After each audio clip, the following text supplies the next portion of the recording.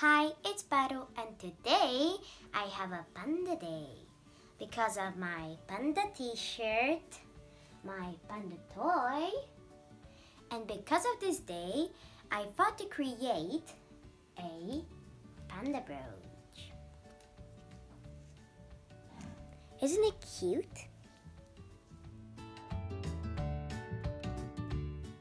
Now, to make this cute little panda brooch, you will need a pencil, these cute little eyeballs which you can find in this stationery store, a safety pin, white and black fabric, a glue, and a glue gun.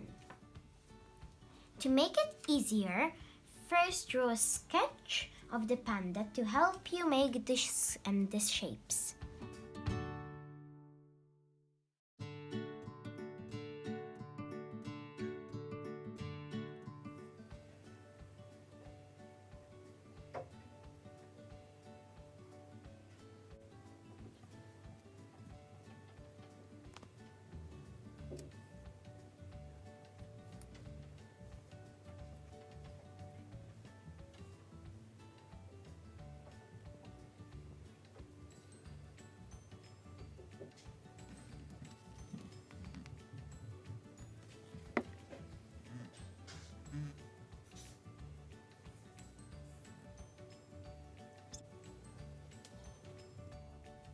As you see when gluing it got stuck to the paper so now I just have to cut it off. Now when I have it cut off I just need to stick the safety pin with the glue gun. Because it's very hot, be careful when using it or ask a mom or dad to glue it for you.